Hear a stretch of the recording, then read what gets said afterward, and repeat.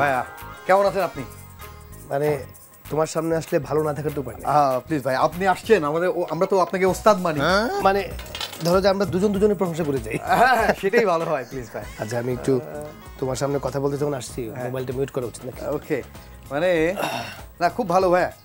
আহ, মানে গাড়ির চাবি সহ আসছেন। যতগুলো যতগুলা চাবি ততগুলা গাড়ি না কিন্তু গাড়ি আছে বাড়ি আছে বাড়ির চাবি চশমা সব আছে মানে যা যা আছে দেখানোর একটা মানে সম্পত্তি সব নিয়ে আসছে।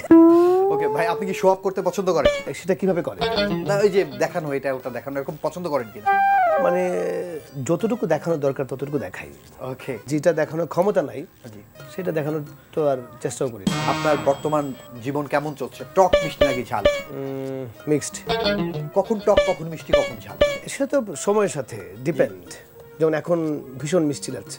সকাল ঘুম থেকে উঠতে ভীষণ টক লাগে। আবার রাতে ঘুম না আসতে ঝাল লাগে। কিন্তু এখন যে টাইমটা বার করছি সেটা মিষ্টি। হ্যাঁ আপনি আগে উপস্থাপনা করছেন এখন আমি করছি।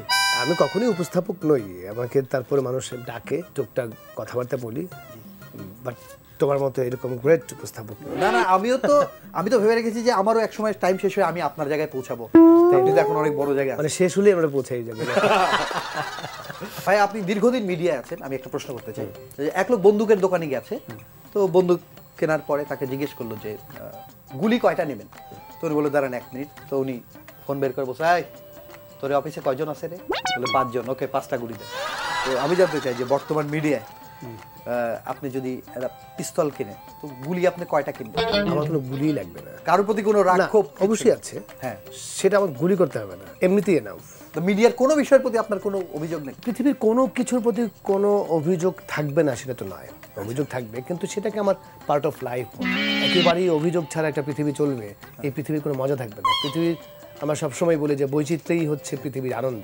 হ্যাঁ। তা আমার মনে হয় যে ভাইরাস থাকবে আবার অ্যান্টি ভাইরাস থাকবে অভিযোগ থাকবে অনুযোগ থাকবে ভালোবাসা থাকবে ঘৃণা থাকবে সব মিলিত পৃথিবী সব মিলিত স্ক্রিপ্ট আমার কাছে অভিযোগ না থাকলে এই মিডিয়ার কোনো সৌন্দর্য থাকবে বলে ভাই আপনি তো চারুকলার স্টুডেন্ট ছিলেন।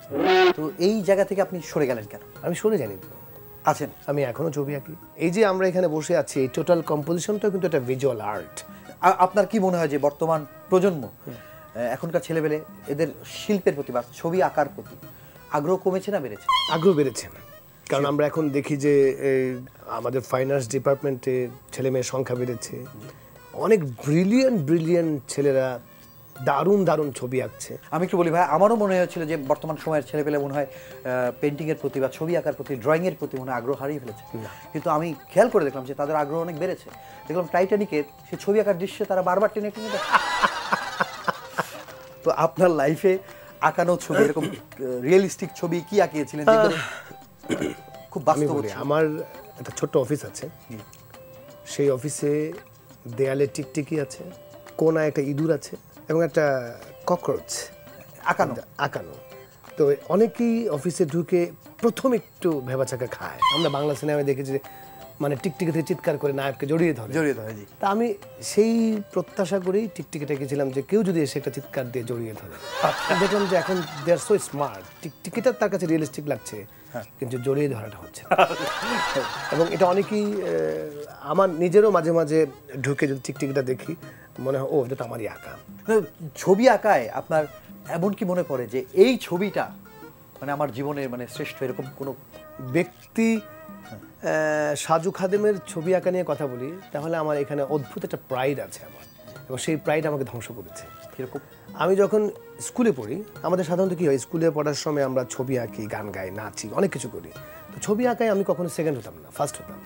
ফার্স্ট হতে হতে আমার মধ্যে এক ধরনের অদ্ভুত অহম কাজ করতে শুরু করল যে আমি পৃথিবীর সবচেয়ে বড় আর্টিস্ট আমার মতো আর্টিস্ট এই পৃথিবীতে এই বাংলাদেশে তো নেই পৃথিবীতে নেই।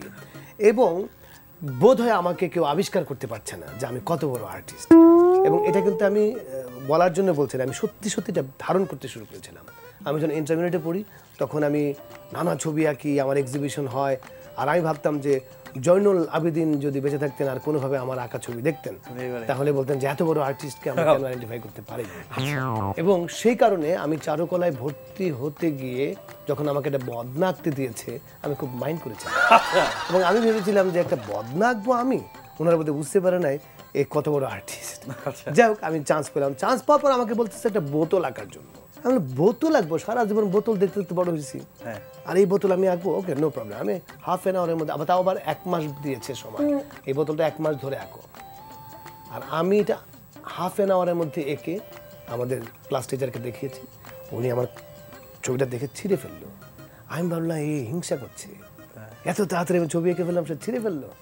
তারপর আমাকে বলতে যাও আগে বোতল দেখো গিয়ে আগে দেখা শিখো। এখন বোতল দেখা শিখব মানে? এটা কি ধরনের কথা পানি বোতলের কথা বলছি। বিশ্বাস করো এটা একদম সত্যি কথা যে বোতল যখন আমাকে দেখানো শিখালো হ্যাঁ। আমার শিক্ষক আমি আর এখনও বোতল আঁকতে পারি না। আমি সেদিন রিয়েলাইজ করলাম আমি এর আগে যত ছবি এঁকেছি এগুলো এগুলো সব ফালতু ছিল।